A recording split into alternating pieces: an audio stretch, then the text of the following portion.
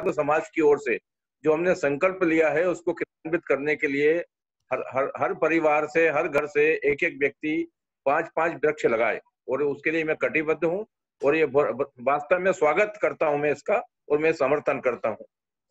जी। धन्यवाद। धा, धालिया जी भी मौजूद है उनका ही मैं स्वागत करता हूँ। हमारे चौकसे जी का भी स्वागत करता हूँ। सैन समाज की ओर से। जो। जी।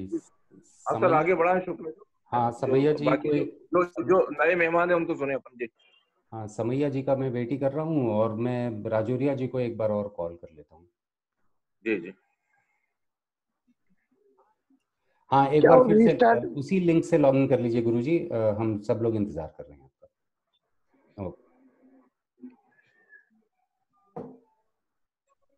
समैया जी की आवाज़ नहीं आ रही थी ठीक से उस वक्त?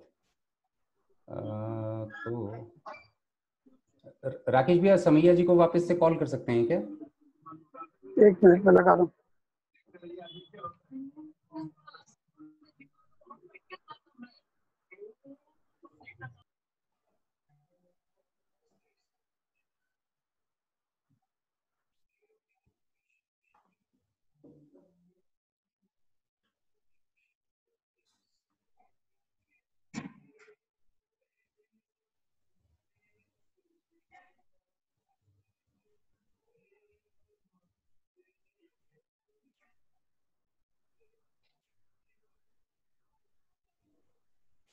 देखो आवाज़ आ रही? है हाँ हाँ फ़र्स्ट बिल्कुल ओके। बहुत ही बढ़िया आवाज़ आ रही है। हाँ। बार वीडियो और आ जाए बस। आपका वीडियो मेरे ख्याल से म्यूट कर रखा है आपने। अच्छा अच्छा अच्छा। आप नीचे एक बार देखिए वीडियो वाले पे क्लिक हाँ आ गया। हाँ आगे आगे बहुत आ गया। हाँ। जी बहुत बढ़िया। तो आ, जी। भाई साहब प्रणाम। और हमारे हाँ। बीच में हमारे बीच में धर्माधिकारी पंडित विष्णु राजौरिया जी हैं और हम सब इसको वैदिक पद्धति के अनुसार भी वृक्ष लगाना कितना उपयोगी है और गुरु पूर्णिमा पे यदि लगाएँगे तो उसका क्या फल मिलेगा इसकी जानकारी लेंगे पंडित विष्णु राजौरिया जी से। जी जी भाई बिल्कुल। सभी बंधुओं को नमस्कार। न, नमस्कार स्वागत है राजौरिया जी जी जी नमस्कार श्रीवास जी नमस्कार। जी जी सर सर, सर। आ, अभी हाँ अभी मैं आपकी चर्चा सुनी मैंने। तो जी, जी, पहचान गया था पहचान गया था मैं हाँ, आपको। बिल्कुल बिल्कुल। जी जी। मैं, मैंने देखा तो, राजूरिया साहब भी हर जगह रहते हैं मेरे इर्द गिर्द। सभी गतिविधियों से परिचित हैं आप। जी जी बिल्कुल बिल्कुल बिल्कुल। तो ये ईश्वर की कृपा है और रितेश जी का और राकेश जी का ये प्रयास है कि अब सभी बिल्कुल बिल्कुल के सभी समाज के लोग एकत्र हों और एक सूत्र में बंधे और अपने हिंदू परंपराओं को सनातन परंपराओं को जीवंत करें और फिर से हम अपने भारतवर्ष की संस्कृति के उद्भव की ओर बढ़ें। तो ये संकल्प है हमारा। तो जैसा कि अभी राकेश जी ने कहा कि वृक्षों के वृक्षारोपण क्यों किया जाता है और हमारे शास्त्रों में इनकी क्या महत्ता है? इसके विषय में अपन आज संक्षिप्त चर्चा यहाँ पर अपन अवश्य करेंगे। तो देखिए, हमारा शास्त्र और हमारा सनातन धर्म प्रकृति को अपना सब कुछ मानता है। उसी को ईश्वर मानता है, उसी को देवता मानता है। प्रकृति हमारा ईश्वर है। और प्रकृति में सब कुछ है, पंच तत्व से सारी प्रकृति बनती है। और हमारे वृक्ष, हमारे पर्वत, हमारी नदियाँ, हम, सबको हम पूजते हैं। प्रकृति के हम जल के, हमारे वरुण देवता के रूप में हम जल को पूजते हैं। और शिखर और बड़े बड़े पर्वतों पर हम पूजा करने के लिए जाते हैं। उसी प्रकार से पवित्र नदियों की पूजन अर्चन करने के लिए हम तीर्थों में स्नान करने के लिए जाते हैं, सरोवरों पर स्नान करने के लिए जाते हैं। इसी प्रकार हमारी प्रकृति में वृक्ष, वृक्षों की पूजा का बहुत महत्व है। और वृक्षों के प्रति समर्पण का बड़ा भाव है। तो वृक्षों को उनका पालन पोषण करना, उनका संरक्षण करना और उनको क्षति होने से बचाना, ये सब हमारे सनातन धर्म के विशेष अंग है। देखिए, अभी कुछ ही दिन पहले पट सावित्री अमावस्या थी और उसके बाद में शुक्ल पक्ष में बट सावित्री पूर्णिमा का व्रत आया। तो ये दोनों तीन दिन तक चलते हैं। तो तीन दिन तक बट की पूजा होती है, सौभाग्यवती स्त्रियाँ जाती हैं, बट वृक्ष के समीप जाती हैं, उसकी कच्चा सूत लेके उसकी 108 परिक्रमाएँ लगाती हैं। क्यों लगाती हैं?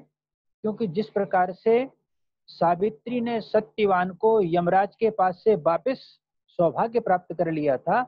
उसी प्रकार से उनकी पति की दीर्घायु है, इसके लिए वो बट सावित्री की पूजा करती हैं। हमारे यहाँ नित्य प्रति तुलसी जी की पूजा की जाती है और हर आँगन में आपको तुलसी का पौधा मिलेगा। उसमें भी कई नियम होते हैं। रविवार के दिन तुलसी का स्पर्श नहीं करेंगे, उनके पत्ते नहीं तोड़ेंगे। तो इस तरह के अन्य दिनों के भी होते हैं। अमावस्या का होता है, बुधवार का होता है तो उससे उस पौधे का संरक्षण होता है। लेकिन उसकी नित्य पूजा अवश्य करते हैं। इसी प्रकार से पीपल का वृक्ष है। तो हमारे यहाँ पीपल को पितरों का वास हमारे पीपल के वृक्ष में माना जाता है और हमारा गुरु गुरु के रूप में पीपल वृक्ष को आराध्य के रूप में माना जाता है। तो हमारे यहाँ देखा गया कि हर शनिवार के दिन पीपल के वृक्ष में जल चढ़ाने वाले असंख्य लोग होते हैं और नित्य प्रति चढ़ा, जल चढ़ाने वाले भी अनेकों लोग हैं। जो नित्य प्रति पीपल वृक्ष के नीचे जाएँगे, उनको जल चढ़ाएँगे, उनकी परिक्रमा करेंगे, सायंकाल के समय दीप दीप प्रज्वलित करके वहाँ प्रकाशित करेंगे। इसी प्रकार से वर्ष में हमारे अनेक तीज त्योहार वृक्षों पर ही आधारित है। जैसे मैंने बट सावित्री व्रत का उदाहरण दिया, ऐसे पीपल पूनम भी होती है। पूर्णिमा के दिन पीपल का विशेष पूजन अर्चन होता है। और प्रत्येक शनिवार को, अमावस्या को तो निश्चित रूप से होता ही है। इसी प्रकार से आंवला नवमी का पर्व आता है तो आप देखें कितने व्यापक रूप से आंवला नवमी की पूजन होती है। सौभाग्यवती स्त्रियाँ बाग बगीचों में बड़ी दूर दूर चलकर पहुँचती हैं और आंवला के वृक्ष के नीचे पूजन अर्चन करती हैं पकवान का भोग लगाती हैं और परिक्रमा करके भगवान को भोग लगाकर और सब हाँ प्रसाद के रूप में सब आंवले के वृक्ष के नीचे बैठ के ही भोजन प्रसादी ग्रहण करते हैं। इससे आयु बढ़ती है। जब हमारे यहाँ वर्ष का शुभारंभ होता है तो गुड़ी पड़वा से हमारे संवत्सर का शुभारंभ होता है। हिंदू परंपरा में वर्ष का पहला दिन कौन सा होता है? गुड़ी पड़वा। तो उसके दिन, उस दिन नीम की पत्तियों से बनी हुई गोली पूरे परिवार को हमारी दादी माँ देती चली आई हैं। और उसी का पालन आज भी हमको करना चाहिए।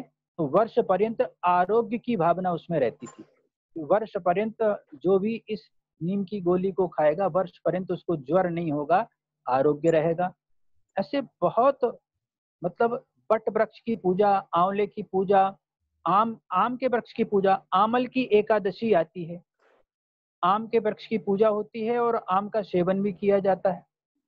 इसी प्रकार से जब दशहरा आता है तो आपने देखा होगा, सुना होगा कि सोना पत्ता लेकर और दशहरे के दिन भगवान के मंदिर में जाकर एक सोना पत्ता चढ़ाते हैं। वो तो कचनार का पत्ता होता है तो कचनार वृक्ष का कितना महत्व होता है? ऐसी एक समी वृक्ष होता है तो समी वृक्ष की पूजा जिसको भी शनि देव का अनिष्ट होता है, वो शनि समी वृक्ष की विशेष पूजा करते हैं। और शिव जी की पूजा अर्चना में बेल पत्र और समी पत्र विशेष रूप से चढ़ाए जाते हैं। तो सनातन धर्म में वृक्षों के पालन पोषण का बड़ा महत्व बताया गया इसलिए मेरा आग्रह है कि जो अब मैं मुख्य बिंदु पर आ जाता हूँ कि जैसा कि रितेश जी ने और राकेश जी ने कहा है और, और आप सभी का मत है कि गुरु पूर्णिमा का यह पर्व वृक्षारोपण के रूप में मनाया जाए तो हमारे गुरु की कृपा हम सबको अवश्य ही प्राप्त होगी। और मैं एक आग्रह और करूँगा कि गुरु पूर्णिमा के ठीक पंद्रह दिन बाद हरियाली अमावस्या आती है। श्रावण कृष्ण पक्ष अमावस्या को हरियाली अमावस्या कहते हैं। और यह हरियाली अमावस्या वृक्षारोपण का दिन एक प्राचीन सनातन परंपरा में वृक्षारोपण के दिन ही कहलाता है। तो मेरा तो आग्रह यह है कि हर समाज के व्यक्ति एक दिन निर्धारित कर लें गुरु पूर्णिमा से प्रारंभ करके और हरियाली हरियाली अमावस्या तक कोई ना कोई स्थान पर वृक्षारोपण करते जाएँ और हरियाली अमावस्या को हम सब एक ही स्थान पर एकत्र हों और उस दिन वहाँ पर जैसा शासन का नियम हो उसी के अनुसार अपन करना पड़ेगा अभी इस वर्ष तो। आगे अपन को इसको और विस्तार देने की आवश्यकता होगी। तो जो शासन के नियम हैं, उनके पालन के करते हुए इस प्रकार से करें कि शासन का नियम भी ना टूटे और हमारी परंपरा का निर्वाह भी अच्छे ढंग से हो सके। तो सभी सामाजिक बंधुओं से मेरा करबद्ध आग्रह है कि गुरु पूर्णिमा से वृक्षारोपण का प्रारंभ अवश्य करें। अच्छा अब इसका शास्त्रीय पक्ष कुछ चीज़ बताता हूँ मैं। हम जब पूजन करते हैं तो कलश में पंच पल्लव लगाए जाते हैं। और पंच पल्लवों का इतना महत्व होता है, उसके लिए हमको मंत्र भी पढ़ना पड़ता है। और उसका हम मंत्र पढ़ते हैं, ओम अश्वत्थेबो निखदिनम पर्णेबो बसत्स्कृता गोभाज इथिला नवत इसका तात्पर्य ये है कि अश्वत्थ यानी पीपल गूलर पाकर, पलाश आम्र, इन सब के एक एक पत्ते हम कलश के ऊपर स्थापित करते हैं और उनको स्थापित करके पूजन करने से जो भी पूजन करने वाला आचार्य है और यजमान है, उनके आयुष्य में वृद्धि होती है और प्रकृति में वृद्धि होती है, प्रकृति में हरियाली छाती है, उसका हमको वरदान प्राप्त होता है।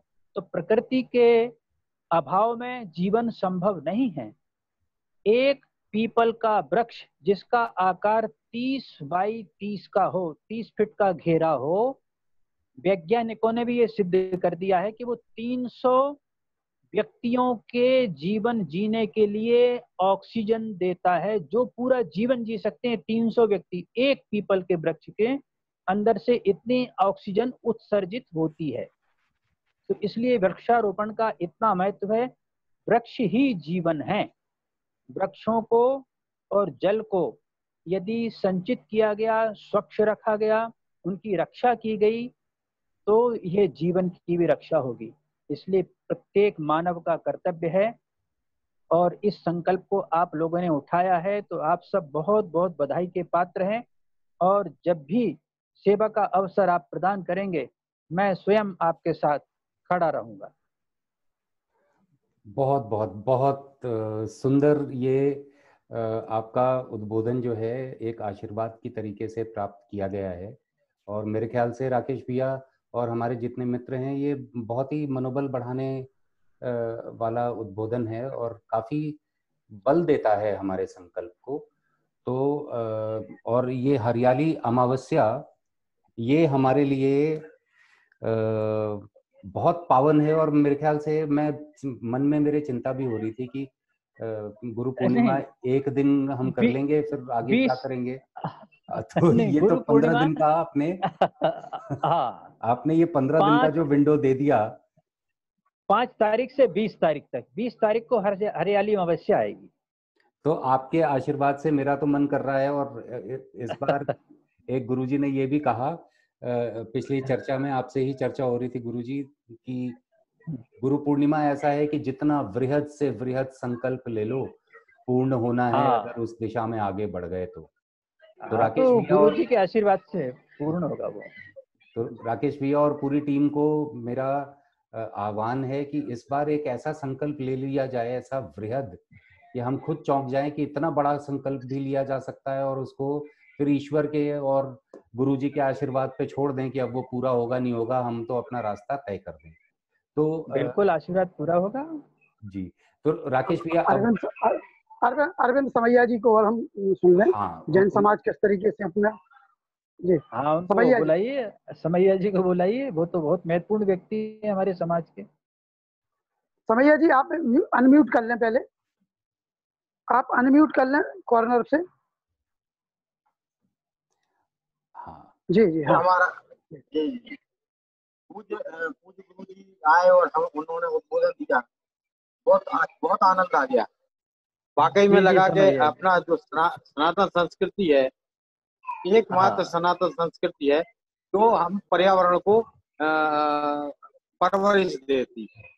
एक क्योंकि हमने ये देखा है कि पीपल को और अन्य जो वृक्ष हैं अपने जामुन को इतना धार्मिक महत्व दिया गया है और एक्चुअल में है भी वो। हमारे यहाँ पीपल का पेड़ लगा है तीस बाई तीस में ही है। और मैं चाहूँगा कि आप सभी लोगों को मैं ले चलूँ और वो पीपल का वृक्ष दिखाऊँ मैं और उसको पल्लवित कर रहा हूँ उसकी पूजन भी करवाता हूँ। जी उसकी पूजन भी करता हूँ। तो मैं तो मैं तो धन हो गया आप लोगों के बीच में क्योंकि पर्यावरण को जीवंतता अगर आपको देखना है तो अभी जो कोरोना काल हुआ वो हमारे लिए हाँ, कुछ जी, दे जी। के गया। देखिए हाँ। पर्यावरण अगर आप अपना बुरा हुआ है तो कहीं ना कहीं हाँ। हमें। कुछ प्राप्त ज़रूर होता है। हाँ ये सब पर्यावरण की विकृति से ही ये बीमारी आई है। और पर्यावरण अगर स्वच्छ होता है तो ये कहीं भी नहीं आती। तो अभी जो हम बचे हुए हैं तो पर्यावरण शुद्ध है तभी बचे हुए हैं जितने लोग बचे हुए हैं वो पर्यावरण के कारण ही बचे हुए हैं। बहुत बढ़िया बात। और ये पर्यावरण को जो जिस तरीके से बचाया है हमने मतलब लॉकडाउन होने के बाद नदियाँ सही हो गई पेड़ पौधे स्वच्छ हो गए वायु स्वच्छ हो गई आप देख लीजिए। जी जी। तो हम तो हाँ चाहते हैं कि इसमें ज़्यादा से ज़्यादा आप लोगों का आप लोगों का मार्गदर्शन प्राप्त हो और हम मर्यादा के साथ में ये काम सुचारू तरीके से कर सकें। बिल्कुल। अभी अपन बिल्कुल कोरोना के जो शासकीय नियम हैं उनका पालन करते हुए सोशल डिस्टेंसिंग का मेंटेन करते हुए और वृक्षारोपण अवश्य करेंगे अवश्य करेंगे। बिल्कुल बिल्कुल गुरु जी और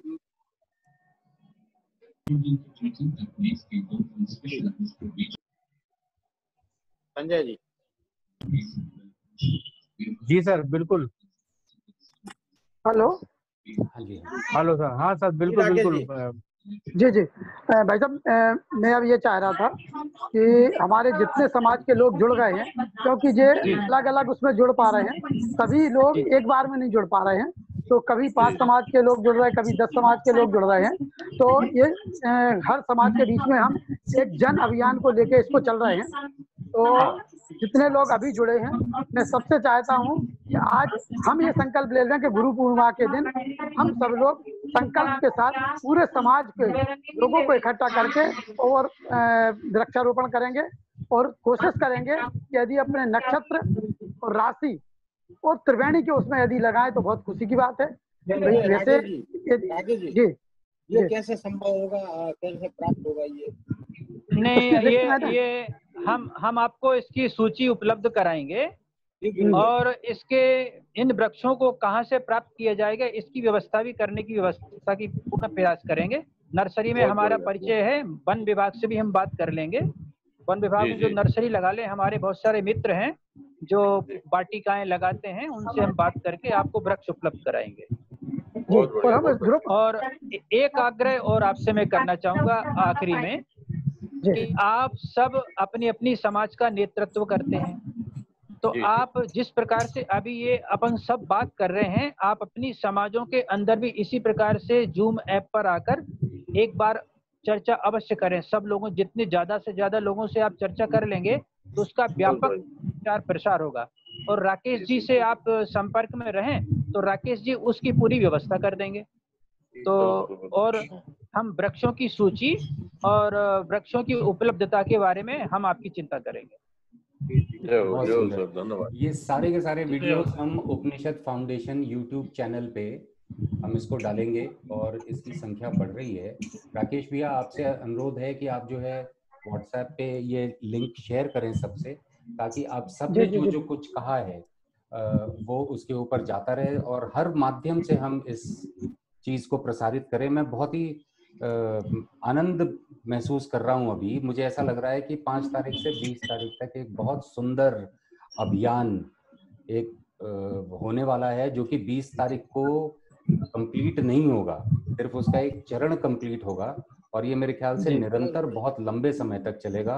और गुरु जी के आशीर्वाद से तो अब ये अभियान रुक नहीं सकता है ऐसा मुझे प्रतीत हो रहा है। बिल्कुल आप जब भी आप आदेश करेंगे मैं उस स्थल पर पहुँच जाऊँगा। बिल्कुल पहुँच जाऊँगा। जी जी। सर साहब मैं अब ये चाहता हूँ कि ये लिंक तो मैं दे ही रहा हूँ। इस लिंक को भी सब अपने अपनी फेसबुक पे और व्हाट्सएप पे डालें अपने अपने ग्रुप में डालें। और एक खबर जो है अभी मैं एक अभी मैं एक खबर बनाता हूँ। तो खबर अपना जो ग्रुप है ग्रुप पे डाल देते हैं और उस ग्रुप के हाँ, आधार से सब अपने सब। अपनी अपनी फेसबुक पे चलाएँ सब अपने अपने व्हाट्सएप पे चलाएँ क्योंकि ये हाँ। सोच लें कि जो आज जो हम लोगों ने चर्चा की है ये हर व्यक्ति के परिवार के तक पहुँच सके। यदि ये हर परिवार तक जानकारी पहुँच जाएगी तो एक निश्चित बात है कि जी हमारा जो एक आंदोलन है ये जन आंदोलन बन जाएगा वो हर व्यक्ति इस को लेके आगे बढ़ेगा वो हर व्यक्ति ये कहेगा कि नहीं गुरु पूर्णिमा के दिन हमें पाँच वृक्ष लगाना है। कल हम कोशिश करेंगे कि कल बालिकाओं की लिस्ट तो- जी और वृक्षों की लिस्ट। जी। जी जी। गुरु जी से जानकारी और चाहिए। बिल्कुल। पीपल सिर्फ़ एक ऐसा वृक्ष है जो ऑक्सीजन बहुत ज़्यादा देता है। नहीं ऐसा नहीं। ऑक्सीजन ऐसा नहीं है बहुत सभी वृक्ष ऑक्सीजन देते हैं। लेकिन पीपल वृक्ष उसमें दुनिया में सबसे ज़्यादा ऑक्सीजन देने वाला वृक्ष होता है। ये हाँ, ये जानकारी आपसे हम हाँ क्योंकि उसका घेरा बहुत ज़्यादा हाँ। होता है हाँ। पीपल का तो ऐसा कहते हैं कि एक पीपल जंगल का मूल होता है। एक पीपल लगा दीजिए और कुछ दिन छोड़ दीजिए तो आसपास का पूरा इलाका वो छेक लेगा वो जंगल बना देगा। इसीलिए कृष्ण भगवान उसको अ, और बरगद में एक खूबी होती है कि बरगद दिन में कार्बन डाइऑक्साइड ग्रहण करता है और रात को कार्बन डाइऑक्साइड छोड़ता है। एक है। ऐसा वृक्ष हाँ। दिन में ऑक्सीजन छोड़े। और हाँ। घेरा का और आपका आशीर्वाद हम चाहेंगे। हाँ आप देखेंगे पुराने पुराने गाँव में जाके देखेंगे तो रात्रि में बरगद के नीचे किसान लोग खटिया लगा के नहीं सोते हैं। पीपल के नीचे सो जाते हैं। हाँ, इसीलिए नहीं सोते। बिल्कुल। एक इंफॉर्मेशन मैं और साझा करना चाहूँगा। एक डेढ़ मिनट से, से भी कम समय लूँगा। गुरुजी आपके ध्यान में लाना चाहता हूँ मैं। बताइए। गुरुजी ये मामला सिर्फ़ पर्यावरण का नहीं है। अब ये मामला जी। मेरे ख्याल से वृक्ष लगाना हमारे लिए आज राष्ट्रवाद से जुड़ रहा है। उसकी वजह एक ही है। बिल्कुल हमारी हमारी संस्कृति है हमारा धर्म है हमारा राष्ट्रवाद है। अच्छा राष्ट्रवाद हमारा धर्म से अलग नहीं है। हमारी संस्कृति से जुड़ना ही राष्ट्रवाद है। नहीं चीन से ताल्लुक रखने वाला एक षड्यंत्र सामने आया है जिसके ऊपर मैं कुछ स्टोरीज कर रहा हूँ लेकिन मैं आपसे साझा करना चाहता हूँ। अच्छा। बताएँ। चीन की सबसे बड़ी दिक्कत ये है कि चीन अपने आवश्यकता का 50 प्रतिशत भोजन आयात करता है और उसका हाँ। कारण ये है कि उसको फैक्ट्रियाँ लगाने की वजह से पिछले 30 साल में चीन ने अपने देश के वृक्षों को और वहाँ जंगलों में रहने वाले जानवरों को खा लिया है आज उसको हाँ। पता है कि उसका इंटरनेशनल वर्ल्ड में पानी की क्वालिटी में चीन का पानी ग्रेड फाइव है ग्रेड फाइव का मतलब ये होता है कि ऐसा नाला जिसमें फैक्ट्री का मलबा जा रहा हो और अगर बारिश होने के बाद उस नाले में बारिश का पानी इकट्ठा हो जाए तो उसकी जो क्वालिटी होगी वो चीन के ग्राउंड वाटर की क्वालिटी अब षड्यंत्र। यहाँ ये है गुरुजी कि चीन का ऐसा मानना है कि आज पूरी दुनिया में क्या ऐसी व्यवस्था हो सकती है कि जैसी स्थिति चीन की है, वैसी ही स्थिति पूरी दुनिया की हो जाए? मेरा ऐसा अनुमान है और मेरा ये विश्वास है शोध के अनुसार कि चीन जैसे राष्ट्र को अगर चुनौती देनी है तो उसका इकलौता मात्र साधन यह है कि जो भी देश, जल, जंगल और ज़मीन, खेत इन तीन चीज़ों को जो भी देश बचा पाएगा वो चीन से मुकाबला बढ़िया। बिल्कुल बिल्कुल जी। जी। बिल्कुल सही कहा बिल्कुल वही ये देखिए ये शाश्वत हैं। ये जो जितने भी उद्योग लगते हैं उद्योग लगना अच्छी बात है लेकिन उद्योग पर्यावरण की कीमत पर नहीं लगना चाहिए। उद्योग इस प्रकार से लगाए जाने चाहिए कि जो हमारे पर्यावरण को, वृक्षों को हानि ना पहुंचाएँ, हमारे भूमिगत जल को और हमारी नदियों, तालाबों को हानि ना पहुंचाएँ तभी वो उद्योग सक- सफल हो सकते हैं, अन्यथा वो विनाश के कारण बनते हैं। तो चीन उसी मार्ग पर बढ़ चुका है और वहाँ पर उसने पहाड़ों को समतल कर दिया है। तो वहाँ का वायुमंडल पूरा दूषित होता जा रहा है। और उसी प्रकार से वृक्षों का तो इतना ज़्यादा हनन किया है कि उसकी कोई कल्पना नहीं कर सकते। वहाँ मतलब पर्यावरण के प्रति कोई लगाव नहीं है। केवल उनको पैसे कमाने के अलावा बाकी सब नहीं तो हमारे यहाँ तो आश्रम व्यवस्था होती थी पहले। आश्रम में जंगलों में सूखी हुई लकड़ियाँ लाकर उससे भोजन बनाया जाता था। किसी भी हरे वृक्ष की एक भी टहनी नहीं काटी जाती थी। लेकिन ये कालांतर में ये सब जंगलों के व्यापार चालू हुए, लकड़ियों के व्यापार चालू हुए तो उससे ये बड़ी बड़ी इमारतें खड़ी हुई। तो अब कुछ उस पर ब्रेक आया है, लेकिन अभी भी उसमें काफ़ी आवश्यक है कि यदि पूरा देश और पूरे देश के लोग जागरूक हो जाएँ और कम से कम पाँच पाँच वृक्ष अपने जीवन काल में लगा दें तो तब भी इस देश को हरा भरा बनाने में उनका बहुत बड़ा योगदान हो सकता है। गुरुजी हमने तो संकल्प ये लिया है कि प्रत्येक सनातन धर्म को मानने वाला व्यक्ति कम से कम ओम आकार में सत्ताईस नक्षत्र के पौधे लगाए और अगर धर्म हाँ। की आस्था है तो वो सत्ताईस हाँ। गुने चार वेद यानी 108 यानी एक 108 उपनिषद के बराबर अगर वृक्ष लगा ये तो फिर तो तो बहुत ही बड़ा की प्राप्ति हो जाएगी बहुत बहुत ही बड़ी उपलब्धि होगी। नहीं बिल्कुल मोक्ष क्या उसको सब कुछ प्राप्त हो जाएगा। तो सही कहा भारत देश प्राकृतिक संपदाओं से परिपूर्ण है सर। भारत। देश प्राकृतिक संपदाओं से। परिपूर्ण है नहीं इसलिए कोरोना महामारी से हम लोग सफलता से संघर्ष कर रहे हैं सफल हो रहे हैं। भाई साहब प्रकृति ही हमको धरोहर के रूप में मिली है। नहीं यही तो हमारा अधिकार है हमारा। है कि भारत जो है ये ये गौरव की बात है गर्व है हमें हम्म, नहीं सर हम्म। मैं आपको थोड़ा एक हम्म। इंफॉर्मेशन देना चाहता हूँ था भारतवर्ष में सब कुछ था हमने अपनी बेवकूफियों की वजह से उसको खो दिया है टीवी भी चल रही है बैकग्राउंड में कहीं तो अब जो था भारतवर्ष में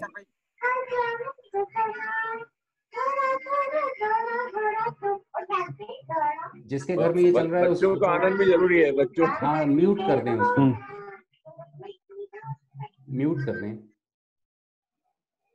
जी तो मैं ये कह रहा था कि ये सारी व्यवस्थाएँ थी। आज हमारी या कह लें कि धर्म के प्रति हमारी आस्था कमज़ोर हुई है जिसका नतीजा है कि आज हम भारत जैसे देश में अगर ग्राउंड वाटर टेबल कमज़ोर हो रहा है, भारत जैसे देश में अगर खेती की जमा, जमीनें तेज़ी से बंजर होती जा रही हैं, और भारत जैसे देश में अगर लाखों हेक्टेयर जंगल हर साल कट रहे हैं तो ये दो चीज़ें बता रही हैं। ए, हमने सनातन धर्म को मानना कहीं से हमारी आस्था कमज़ोर हुई है, और एक बहुत बड़ा हमारे सामने संकल्प ये भी होना चाहिए, और मेरे हिसाब से ये वृक्षारोपण के माध्यम से हम सनातन धर्म में अपनी आस्था को वापस से स्थापित करने की चेष्टा कर रहे हैं। मेरे हिसाब से गुरुजी त्रिकुटी हो रही है। ए सनातन धर्म में हमारी आस्था को पुनः स्थापित करने का एक ये संकल्प है। चीन जैसे दुश्मनों से अपनी ताकत को बढ़ाने के लिए एक ये संकल्प है। और तीसरे हमारे आने वाले भविष्य हमारे आने वाले जनसंख्या के लिए हम जितना हमने कंज्यूम किया उससे ज़्यादा हम दे करके जाएँ इसके लिए ये संकल्प है। ऐसे मेरे मन में भावना है। गुरुजी आप बहुत अच्छा। आप अगर इसमें कुछ ऐड कर देंगे तो उसके उसको ही हम कंक्लूडिंग रिमार्क लेकर के आज की मीटिंग को यहीं संपन्न करेंगे और नए हर्षोल्लास से राकेश भैया कल हम फिर से स्टार्ट करेंगे। मैं आपकी बात से पूरा सहमत हूँ।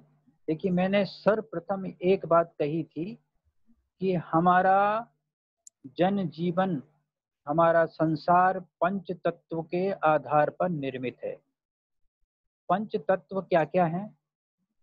जल वायु आकाश पृथ्वी और अग्नि। इनमें जब असंतुलन होता है तो विनाश होता है। इनमें संतुलन तभी स्थापित होगा जब हमारे यहाँ के जल जंगल ज़मीन तीनों सुदृढ़ रहेंगे तीनों सुरक्षित रहेंगे और तीनों पावन रहेंगे। इसलिए वृक्षारोपण करने से ही जल में भी वृद्धि होगी ज़मीन में भी वृद्धि होगी और जंगल में भी वृद्धि होगी। तो एकमात्र तरीका है वृक्षारोपण जो जल का ज़मीन का और प्रकृति का संरक्षण करता है। इसलिए मैं इस बात पर सब कुछ होगा जीवन जीवन उसी से होगा। आप देख लीजिए कि टीटी नगर की हवा और पुराने भोपाल की हवा आप ज़मीन आसमान का फ़र्क। है बिल्कुल आप बहुत पुराने पुराने चौक में चले जाइए और टीटी नगर में घूमिए। या बीएचएल चल क्षेत्र में आप चौक चौक की गलियों में कोई मॉर्निंग वॉक करता हुआ नहीं मिलेगा आपको? नहीं मिलेगा। उस उसको कमला पार्क कमला पार्क पे आना पड़ेगा या फिर एम सिटी आना पड़ेगा या नए भोपाल में कहीं कहीं वन विहार की तरफ़ आना पड़ेगा। तो इसलिए मैं कह रहा हूँ कि शुद्ध वायु तभी मिलेगी जहाँ वृक्ष होंगे वृक्षों के समूह होंगे तो आपको शुद्ध वायु मिलेगी। बिल्कुल। इसलिए वृक्षों पर दया करना बहुत आवश्यक है और उनको उनका जितना रोपण करेंगे उतना ही जीवन बढ़ेगा उतना ही आपका स्वस्थ जीवन होगा। यही संस्कृति के साथ जोड़ सकते हैं आप वृक्षारोपण करके। बहुत बड़ा उपकार करेंगे प्रकृति पर। मेरे ख्याल से बहुत ही सुंदर कंक्लूजन रहा। राकेश भैया अब हम कंक्लूड करेंगे और जी आप बहुत बहुत धन्यवाद सभी समाज के अध्यक्षों के लिए कि जो सबने इस, इस बैठक में आके और अपने अपने विचार रखे। मैं एक आग्रह और करूँगा कि सभी समाजों के लोग कल ही एक बैठक बुलाएँ क्योंकि हमारे पास समय नहीं है। तीन तारीख और चार तारीख दो दिन है। हर व्यक्ति अपने अपने समाज की बैठक बुलाए और बैठक की उस बैठक में एक एक परिवार तक इस चीज़ की जानकारी पहुँच जाए और परसों तक ये हमारा जन आंदोलन का रूप ले ले इस तरीके से सोशल मीडिया और मीडिया पर इस चीज़ के लिए प्रसारित करें। मैं आज इसकी खबर पूरी एक बना के डालता हूँ। किसी पर्टिकुलर एक समाज का कार्यक्रम नहीं है सर्व समाज का है। सर्व समाज के आंदोलन को लेके चले। हम केवल ज़्यादा हैं तो अपनी अपनी खबर स्वयं बनाए कि जन आंदोलन में सर्व समाज की बैठक में निर्णय हुआ और हमारा श्रीवास समाज ये करता है सैन समाज ये कर रहा है तो हमारा जुरी समाज ये कर रहा है ब्राह्मण समाज ये कर रहा है। और अपनी कौन सी तारीख में कितने बजे कहाँ वृक्षारोपण करेगा कितने क्षेत्रों में करेगा कितने पदाधिकारी करेंगे और किन किन जगहों पे करेंगे इस चीज़ को जो हमारा ग्रुप बना है इस ग्रुप में डालें। फेसबुक पे डालें तो जिससे कि ये जन आंदोलन लेने लगे।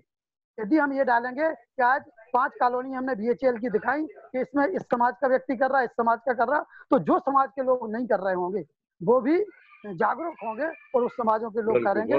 तो मेरा सभी से एक ही आग्रह है कि इन चीज़ों को जितना ज़्यादा हो फेसबुक व्हाट्सएप के माध्यम से हम उसकी आज की बैठक की जानकारी दें उसमें कि सर्व समाज की बैठक हुई और उसमें ये निर्णय हुआ और हम सब लोगों को इस चीज़ के लिए करना है। तो ये निश्चित है कि हम सबकी मेहनत से ये एक जन आंदोलन का रूप ले लेगा और यदि जन आंदोलन का रूप ले लेगा तो हम जो प्रकृति के बारे में, के बारे में जितनी चिंता कर रहे हैं और हम जो सोच रहे हैं कि हमें किस तरीके से इस चीज़ के लिए करना चाहिए तो निश्चित मान के चलिए कि शायद हम उसको करने में कहीं ना कहीं जो जिस रूप में चल रहे हैं, उसके लिए परिपूर्ण भी हो जाएँगे और वहाँ तक पहुँच सकते हैं। मेरा एक ही केवल आप सबसे आग्रह है कि जिस तरीके से रितेश जी ने और हमारे धर्माधिकारी पंडित राजौरिया जी ने हम सबके लिए मार्गदर्शित किया है, यदि हम इसी के अनुरूप कार्य करेंगे तो प्रकृति के ऊपर भी कहीं ना कहीं हमारा एक सहयोग होगा और देश हित में और समाज हित में हम कहीं ना कहीं बहुत आगे बढ़ सकते हैं। बहुत बहुत धन्यवाद। बहुत बहुत धन्यवाद। जी। नमस्कार। सभी को नमस्कार मेरी जी एक जी बात एक बात याद रखते रहना सब। सबको नमस्कार। सर, सर, सर्व समाज जिंदाबाद। हम सब सब एक वृक्ष के पत्ते हैं। एक सनातन धर्म हमारा वृक्ष है और हम सब उसके एक एक पत्ते हैं। पत्ते हैं। पत्ते हैं। जी बिल्कुल बिल्कुल बिल्कुल इस इस तरह से व्यवहार कीजिए तो हम एक वृक्ष के रूप में स्थापित हो जाएँगे और सारे समाज उसके पत्ते बन जाएँगे। सब हरे जी, रहेंगे। मैंने बिल्कुल गुरु जी बिल्कुल। सर्व सर्व वाकई में बहुत के हम्म, गुरु जी मैंने भी सर्व समाज अच्छी शिक्षा दी आज सर सर्व समाज बट वृक्ष रहेगा। हाँ बट वृक्ष रहेगा। हम सब उसके पत्ते हैं। बिल्कुल बिल्कुल। बिल्कुल, चलिए ठीक है तो बहुत ही आनंद बहुत ही आनंददायक ये मीटिंग रहा। और अच्छा अब अब तो हम लोगों 20 दिन तक सभी लोगों को हम इसकी लिंक भेज देंगे अभी उपनिषद फाउंडेशन की जिसमें ये जानकारी है। और जो समाज के लोग जो भी इस कार्यक्रम को कर रहे हैं जिस तरीके से कर रहे हैं उसकी डिटेल दें तो कहीं ना कहीं यूट्यूब चैनल के माध्यम से उसकी जानकारियाँ ज़्यादा से ज़्यादा लोगों में प्रसारित करने की कोशिश करेंगे। आप लोग अपना अपना। वीडियोस भी बना सकते हैं मुझे दें हम आप सबके वीडियोस हम डाल देंगे उसके ऊपर। और आप लोग जय हिंद, जय भारत। जय जय। जय नमस्कार सभी को नमस्कार नमस्कार जय नमस्कार नमस्कार। प्रणाम प्रणाम प्रणाम। नमस्कार। नमस्कार।